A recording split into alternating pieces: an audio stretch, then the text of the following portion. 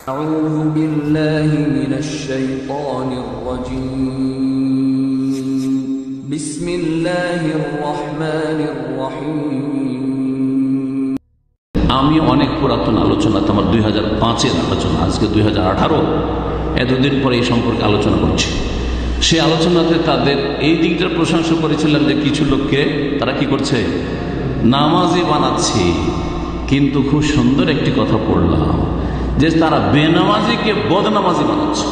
ভালো করে শুনবেন বেনামাজিকে নামাজি বানাই না, সহি নামাজি বানায় না। কি বানাচ্ছে?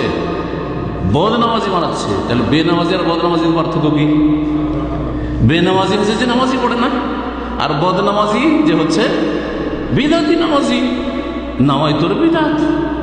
আর ইফতাই দেয় তো বেহাজামা ইমামের বিধাত আর আনা ইমাম লেমান হাজার আমলাম ইহাদরের বিদাত। আর ইন্নি ওজাহাত ওজাহ যাই নামাজের দুয়ার বিদাত, ত্রিপুল বিদাত দিয়ে নামাজ শুরু। আর তারপরে নামাজের শেষে সম্মিলিত মোনাজাতের বিদাত, জীবনে বেদাতার বিদাত, চিল্লার বিদাত।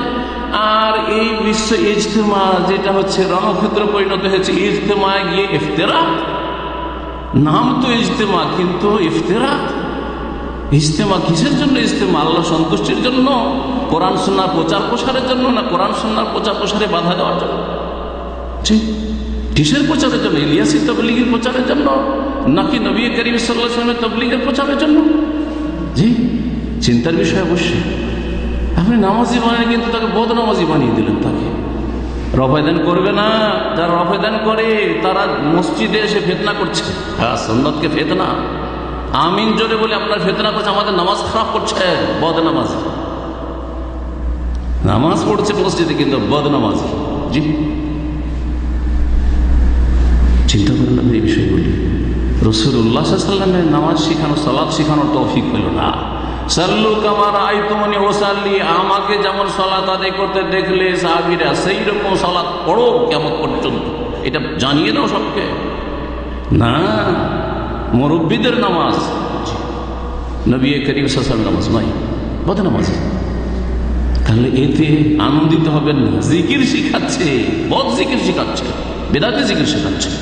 ইল্লাল্লাহ জিকির ইল্লাল্লাহ জিকির। হাও, সম্পূর্ণ জিকির, আল্লাহ আল্লাহর জিকির, হাউ হুহু জিকির শৈলতিফার জিকির। ইমানের খুঁটি কয়টি?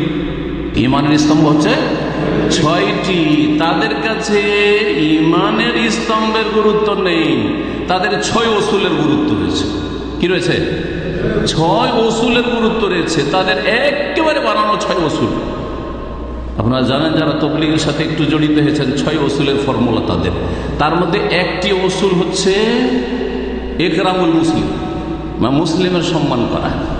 মুসলিমের সম্মান করা মানে এখন তো বুঝতে পেরেছেন না তাদের এই লড়াইয়ে। কোন মুসলিমের সম্মান? সারা বিশ্বের মুসলিমের সম্মান? হ্যাঁ? বিরোধীদের মসজিদ থেকে তাড়িয়ে দেওয়া হচ্ছে একরামুল মুসলিম মুসলিমকে সম্মান করা। বিরোধীদের মসজিদকে ভেঙে জ্বালিয়ে দেওয়া হচ্ছে মুসলিমের সম্মান করা। জি?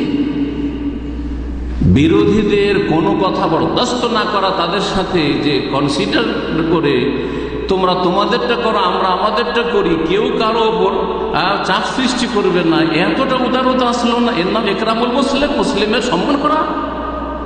এগুলো তো দূরে থাকে, এরা তো না হয় বাইরের ছিল সহি আকিদার ভাইরা কিন্তু নিজের ঘরের লোক যারা দীর্ঘদিন ধরে চিল্লা দিতে দিতে একবারে ফানা হয়ে গেছে, তারা যখন কয়েকটা মাসলায় বিরোধিতা করল, তখন তাদেরকে মারপিট করা, এটা কোন একরাম মুসলিম? তাদেরকে খুন করা, তাদের বিরুদ্ধে অস্ত্র ধারণ করা, কোন একরামুল মুসলিম, মুসলিমের তাজিম করা, সম্মান করা। তাদেরকে পিটিয়ে তাড়িয়ে দেওয়া এবং তাদের কান ধরে তোবা করে বেরোয়া। জি হ্যাঁ দেখেছেন ছবিগুলো? কেউ কান ধরে বেরোচ্ছে, কেউ হাত যেমন ওই সেনাবাহিনী যখন স্যারেন্ডার করে কোনো অন্য সেনাবাহিনীর কাছে যখন হেরে যায়, তখন কি করে? হাত খালি আছে, হাতে অস্ত্র, নিরস্ত্র, আর আমাকে মারিও না, ঠিক না? এইভাবে বেরোচ্ছে, এই দৃশ্যগুলি হয়তো দেখেছেন, না দেখে নিতে পারবেন। জি হ্যাঁ। এটা হচ্ছে একরামুল মুসলিম মুসলিমদের সম্মান করা তাজিম করা। জি হ্যাঁ।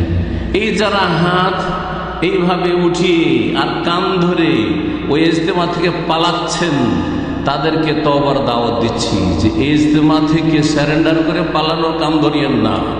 জি শিরিক বেদাতের এই প্রচার থেকে তবলিগ থেকে তহিদ সুন্দরদের দিকে ফিরে আসার জন্য কাম ধরে আল্লাহর অস্তে তবা করেন। আল্লাহ যেন তবা করা তৌফিক দান